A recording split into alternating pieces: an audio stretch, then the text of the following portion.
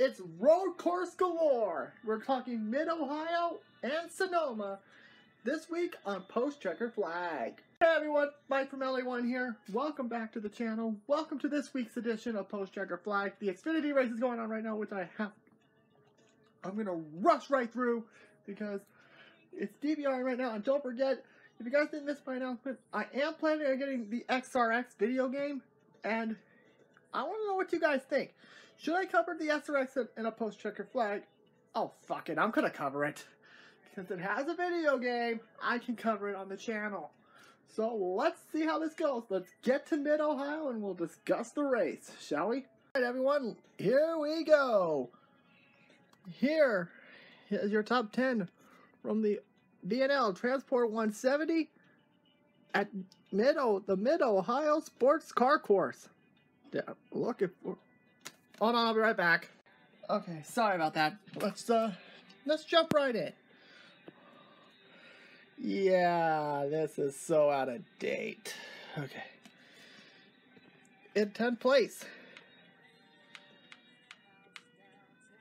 In 10th place we have we have Josh Williams. And in ninth place, Ryan Sieg. In eighth place, Josh Berry in the 31 for Jordan Anderson. So that's twice in a row, top tens.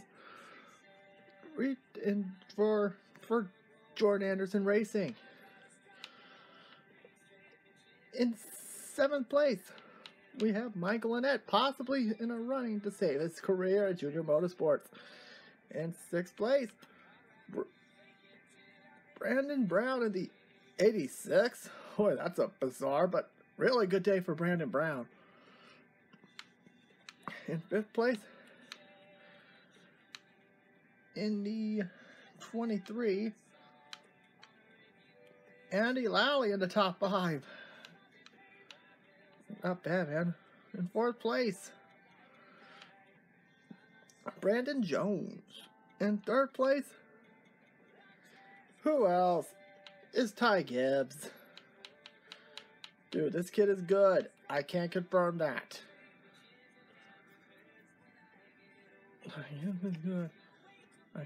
And in second place,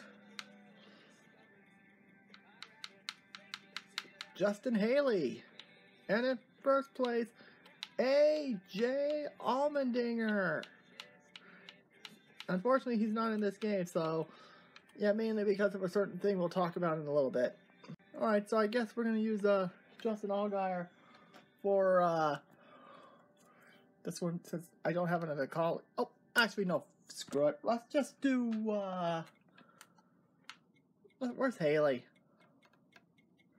Yeah, I should have stuck with five, but oh well, wanted to do different. I have to pay the price for it. So let's take a look and see how everyone, the best of everyone else. Daniel Hemric 12th, Jade Buford 13th, Austin Cindric 14th, Cody Ware top 15 for him. Good job, man. Ryan Vargas 18th, Riley Herbst outside the top 20. A fuel pump issue for Brett Moffitt. Electrical issue for Bayley Currey. Accident Harrison Burton, finished 38th. Tommy Joe Martin had a blown engine, 39th, and Noah Gragson got involved in another accident. Yeah, I think it's safe to say it's win or ne never, win or bust for Noah Gragson. Any hope of him getting a cup ride might depend on how he recovers. Without any time, let's head into the point standings because I have no, I have no time to waste. The Xfinity race is on. I'm worried I don't want to get it updated. All right, ladies and gentlemen, here are the point standings for the Xfinity Series after Mid Ohio. In 10th place, oh, in first place, shut up. In first place with 558 is the driver of the 22, Austin Cindric.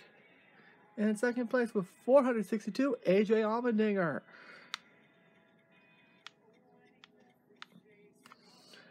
In third place with 437 it's Daniel Hemric in the 18. In fourth place with four third. Oh, it's a tie for third. Also a tie for third. It's Harrison Burton, and he's not even in this game. What the fuck? I of all the times I choose NASCAR Heat 4 to do post checker flag, I have to suck. In fifth place. In fifth place with 419 is Jeb Burton and 11 and let, once again he's not even in this thing. Oh, there's the 18. There we go. There's the 18. In sixth place with 401 is Justin Haley. In seventh place with 395, it's Justin Allgaier. And yes, he's in here. He's in here. In eighth place with 345, it's Brandon Jones. Yeah, I'm kind of excited to see what post checker flag's gonna be like when the next game comes out. In ninth place with 334, it's Jeremy Clements. Yes, I apologize. This is not my best effort, but rest assured, next when we talk about the All Star race, I'll probably get my no joke down. I'm sorry. Yeah, Jeremy Clements with 434, and in 10th place with 326. It's the weak link of Junior Motorsports, Michael Annett, and Noah Gragson is is in two points. Two points behind him with 324. Now let's get to the Cup Series. Ladies and gentlemen, here's your top 10 for the Toyota Save Mart 350 at Sonoma, a track I want to go to. I would like to go to, but I can't find an airport closest to it. Well, thanks to Avelo Air, Air, Airlines starting up in Burbank, I may actually get a chance to go. Try and find it. Alright, here we go. Let's get started. In 10th place, the master of the Blaney Ryan Infringement, Ryan Blaney. In ninth place, solid run for Alex Bowman. In eighth place, the leader of the point standings, Denny Hamlin. At, I'm not sure with a certain somebody coming on his front door. In seventh place, Ross Chastain. And yeah, he's not in the game. Dang nabbit. In sixth place, Kurt Busch. Boy, he's having a resurgence. We'll talk more about that in just a minute. And a special Tuesday edition of Post Checker Flag. In fifth place, Rowdy Kyle Busch. In fourth place, Joey Logano. In third place, we have the New Jersey Tasmanian Devil. Sorry for the lack of te- the nicknames this time around, but to be honest, I'm having a lot of trouble.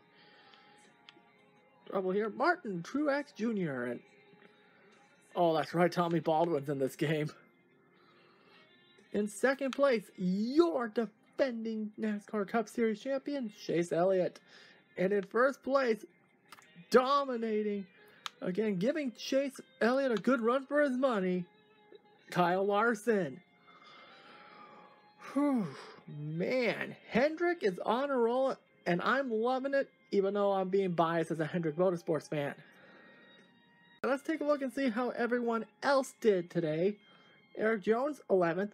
Daniel Suarez finishing 12th, but for a second near the end, it almost didn't happen because he almost got in. He got in, into the back of Michael McDowell, and we know these two have history and I was kind of expecting a penalty, but nope, that didn't happen. Bubba Wallace finishing 14th. And okay, we need to talk about Mr. Wallace here for a split second. I know people are going to say, oh, he has no talent, blah, blah, blah, blah, blah. Shove it. But let's be honest, this guy has gone through a lot this season. From bad pick from a a crew chief who made bad call after bad call to his pit crew making idiotic mistakes, especially at the Coke 600, where he bounced back from that penalty to get a top 15. Here we had a similar incident here. The only difference is that it was from his own. This one was from Bubba himself. He sped on pit road and he got a speeding penalty. So in this situation, Bubba himself was his own worst enemy. And yet he was in 36th heading into the final laps.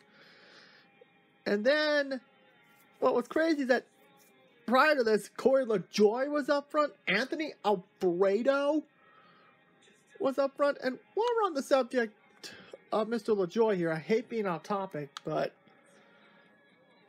come on, I know you're a Hendrick, uh, I know Spire is a Hendrick affiliation, but come on.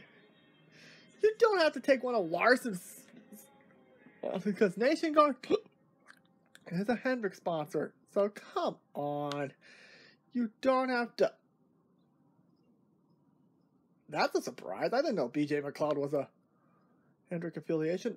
That I expect. Now back to Bubba here. He was in 36th going into the final laps, and he kept his nose clean, avoiding the wrecks. He finished 14th. So that's two weeks in a row that Bubba overcame a penalty and got a top 15. That is perseverance right there. The top 10s will soon, I have a feeling if they can keep limiting their mistakes and get consistency, well, other than the penalty bit, that's the only thing this team's consistent on right now. 2311 could make a big boost here. Let's see what else we got here. Keselowski 15th. LaJoie, who was up front for the last laps, finishing 18th. The only there was only a few who had major incidents. Cody Ware and Matt DiBenedetto got into a big one. I don't know if DiBenedetto wasn't it wasn't it, but I think Cody Ware was. I think he hit uh, Ben Rhodes, who was in this race surprisingly. I guess Spire needed that second driver. Byron got into in a major wreck, so his first true bad start of the season. Quinn Houff got a rear gear issue, and Stenhouse had a blown engine. So other than that, a solid Sonoma race, I have to say. Now let's get to the cup standing so I can wrap this shit up. Alright, ladies and gentlemen, it is time to uh, talk about the point standings for the Cup Series, and then we could be on our merry beeping way. In first place, with 664, two more from the Beast, Denny Hamlin. In second place with 617, he's closing the gap, Kyle Larson. In third place with 591, he's probably going to clinch the 600 by the end of this by in two weeks' time, your defending champion, Chase Elliott. In fourth place, with 564, the, the Charlotte Baron, William Byron. In fifth place with 548, Joey Logano. In sixth place with 527, the New Jersey Tasmanian Devil, Martin Truex Jr. In uh, place with 527 points behind his teammate, the rowdy one, Kyle Busch. In 8th place with 509, the master of Blaney Ride Imprisonment, Ryan Blaney.